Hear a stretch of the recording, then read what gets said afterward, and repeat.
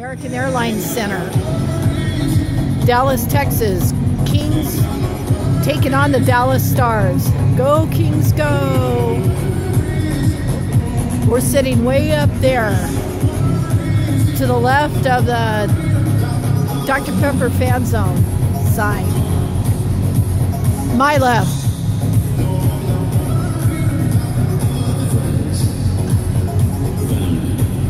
This is the Kings the Kings goal right here. No, this is the Dallas goal.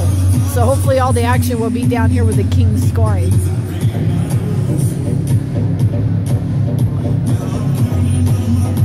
It seats about the same amount of people as Staples Center, a little over 18,000.